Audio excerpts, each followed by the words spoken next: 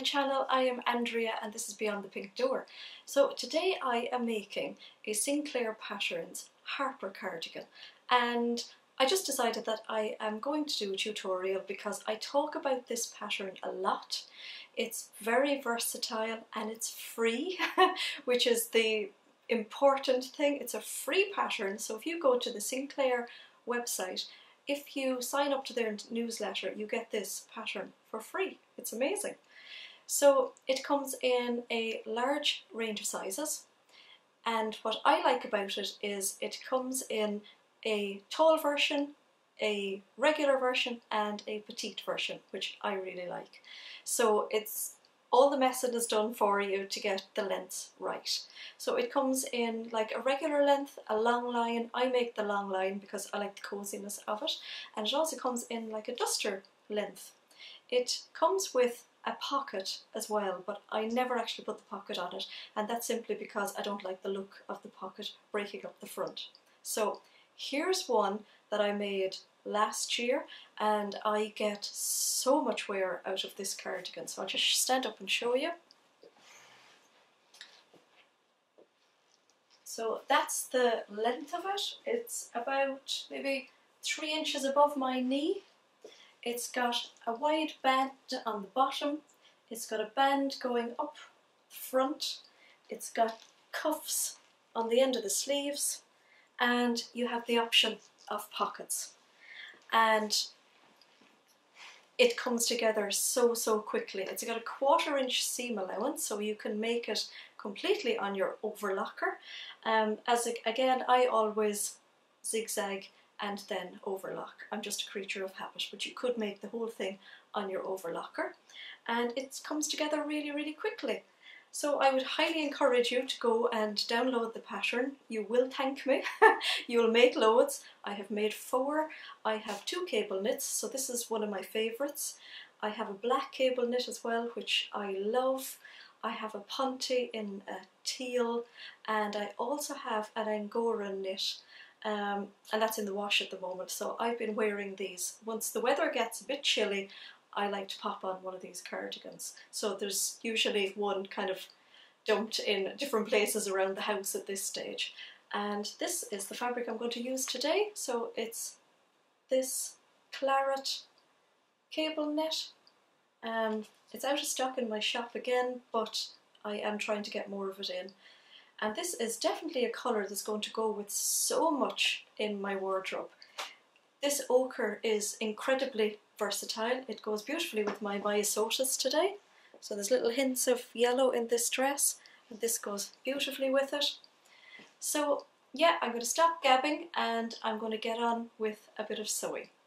So when I did all my cutting out of my pattern pieces, and I am sorry I didn't film that, I just didn't think about doing this as a tutorial, but I was very careful that when I laid out my fabric, that I made sure that when it laid flat that one cable was on top of another cable underneath um, because I didn't do that when I made this cardigan which meant that I have two unsymmetrical fronts.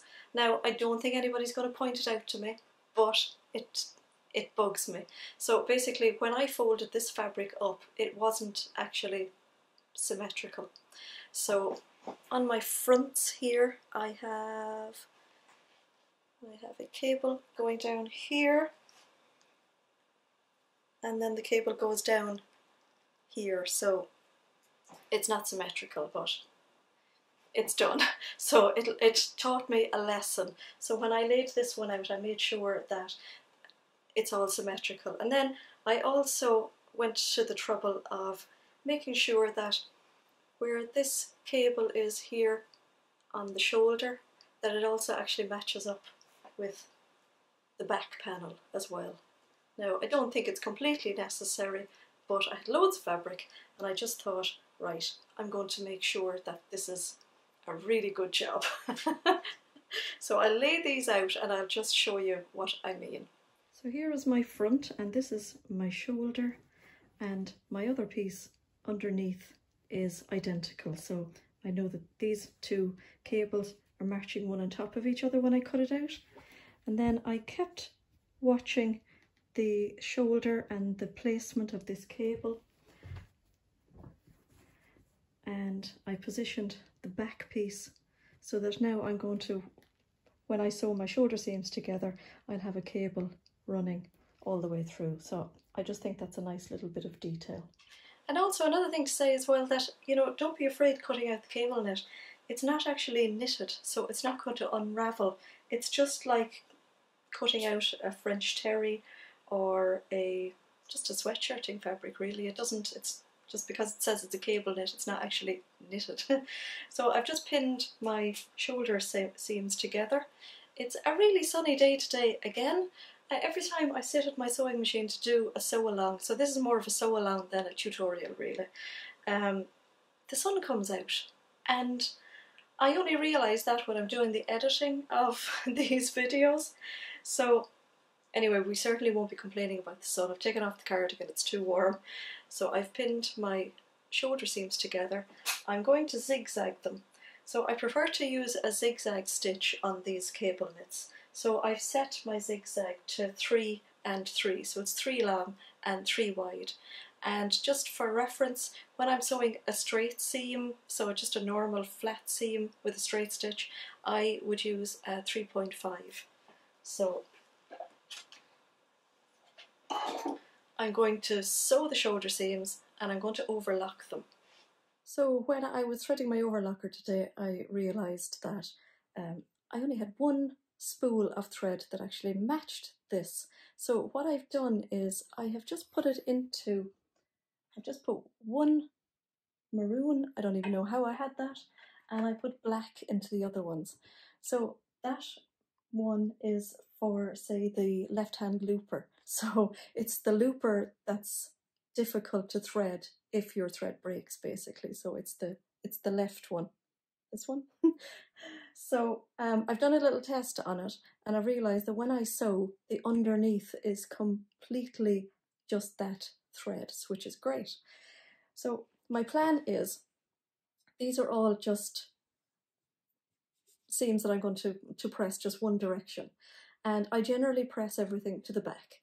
So what I'll do on the shoulder is I will sew it, say, on the back. So then on the front is going to be the wine colour and then I'll just press that to one side. And I'll do the same on the side seams.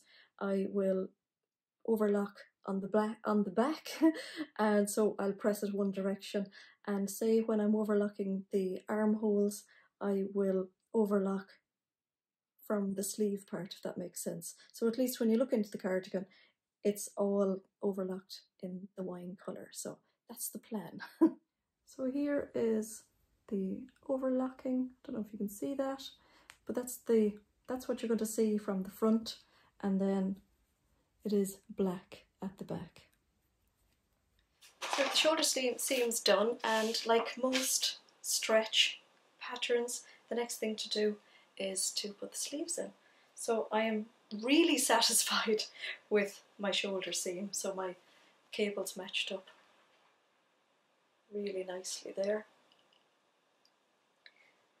So on the pattern it has a notch at the top of the sleeve and it actually tells you that this is the front and this goes towards the back. So it's a matter of matching up this top notch and the notch for the front and pinning it in and whizzing around on the sewing machine and then the overlocker. So I've got my sleeve pinned in there. Now I've my two sleeves in and I've ironed the seam into the sleeve. So when you look at the cardigan, it looks like it's all overlocked in wine thread. So the next thing to do is to do the side seam. So basically from the cuff to the armpit and down to the end. So I am going to pin the sleeve seam first.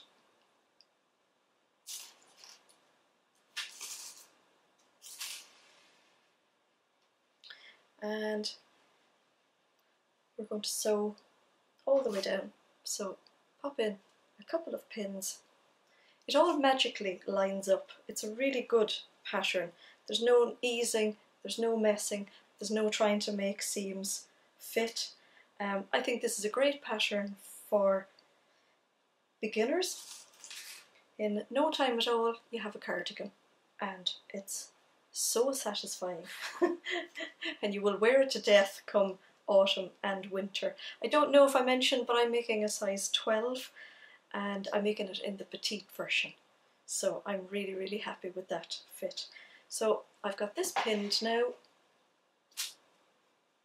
So from the cuff all the way down to the hem.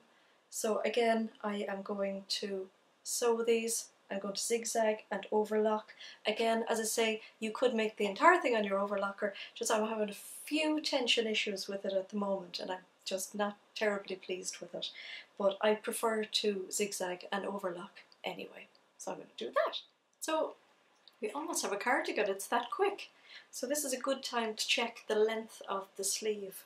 Now this being the petite size, it's perfect. So it's just to here and then of course we have the cuff. So to do the cuff we are going to put the short sides together and sew along on the two of them. And then I'll be back to put them on the end of the sleeve. Now so the side seam of the cuff is sewn and obviously there's no need to overlock. And then kind of fold it up so that it's double thickness. And what I do with where the seam is, because it can get quite bulky, is I'll push one seam one way and then I'll push the other seam the other way. And that's just to make it less thick for the sewing machine to go over. So I'm going to put a pin through that seam and then I'm going to make sure that my edges are even. And I'm going to mark the half way point and I have my sleeve here and I've turned my cardigan inside out. I have my seam here and I'm going to mark my fold, my halfway point here as well. Whoops. Okay, there goes a pin. So I'm just pinning it there. So my seam and my halfway point and very simply pop your cuff into your seam or into your sleeve, matching up those seams. I get very confused between sleeves and seams. And I am matching up now my seam. I'm going to put a pin through there and then I'm putting my two pins here together so I have my halfway mark on the cuff and on the sleeve and pinning those. So it's a matter of making sure that you have your three edges of your fabric even up here and then sew around. So I'm going to sew on the cuff side around and then I'm going to overlock.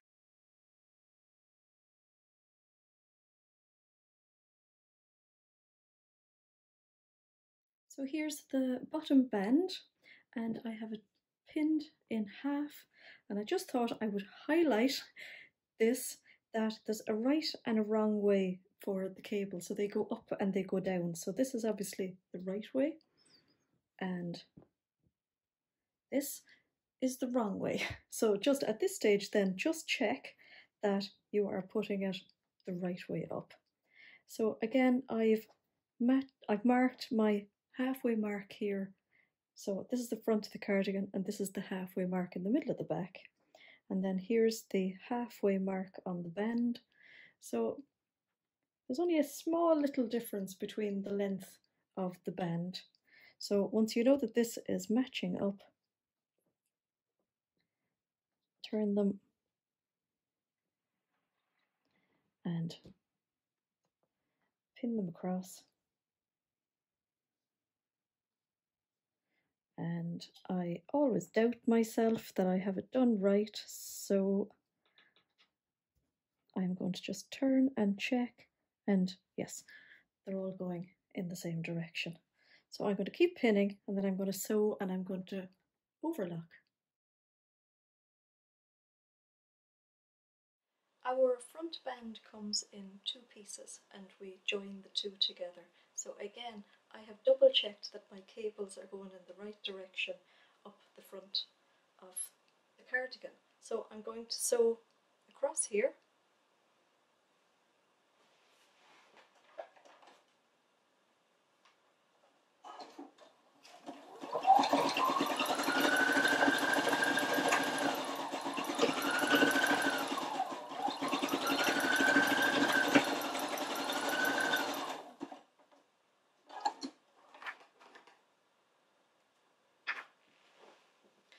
the other end of the band, we're going to put the two right sides together and we're going to sew across. So this is the part that's at the hem of the cardigan.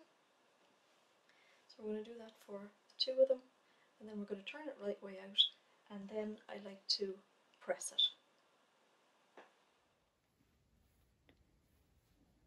So here's the front bend and I have just, I've pressed it so there's a nice fold here, a nice crease and I've also popped in a few pins all the way down as well. And I was just having a look at the front and the back or the back and the front just to decide which side I actually wanted to be out. So I've decided on this one because I think the cable is nicely, it's going to be nicely centered by the time the seam allowance is taken.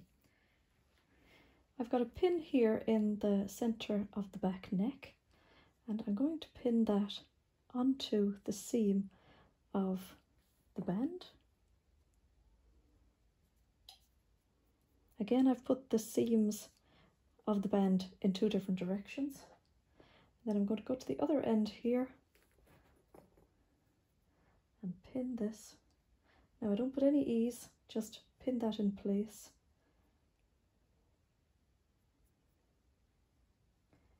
And then what I tend to do is just let it flop down, give it a little stretch, and coming up the front of the cardigan here, you don't want to have too much of a stretch. So I'm going to just pin where I can see that it's straight. And then we have the shaping of the neck or the shaping of the front here, the kind of V neck of the front of the cardigan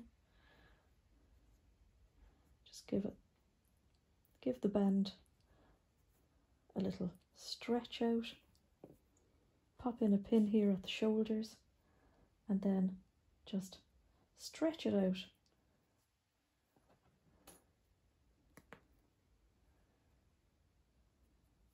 And pop in another couple of pins. And then do that again from the center back all the way down the other front.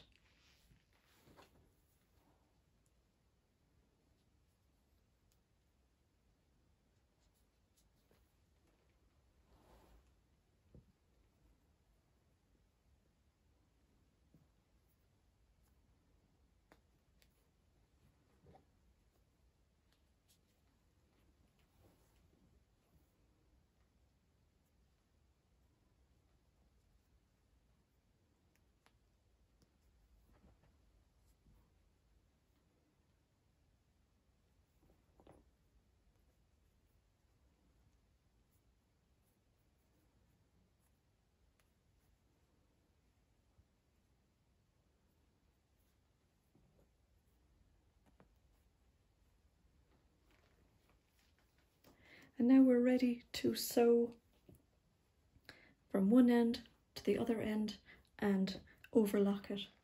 And then hey presto, we have a cardigan.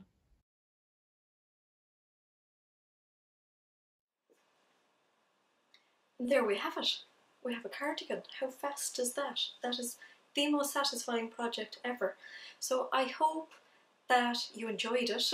I hope that the few little tips, I think definitely the keeping the cable going in the right direction is a good tip. I've made a few, I've made all the mistakes, so I'm passing on the knowledge. So I think it looks lovely. The only other little thing that I do is just at the very bottom, I've just sewn a little bit of a top stitch and that just keeps it sitting that little bit better down there. I have my Ponte version here. I love this one as well. It's slightly lighter, of course. This is just so cozy.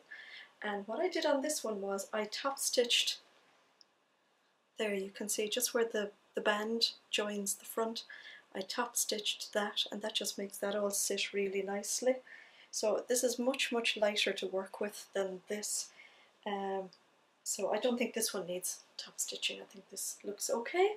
So I made the, other size 12 and I made it from a metre and a half of fabric and I didn't have to do any pattern Tetris, it all just fit lovely in the metre and a half. So yeah, I'm really pleased with that. That is going to be a great addition to my wardrobe. So thank you for watching and see you in the next video.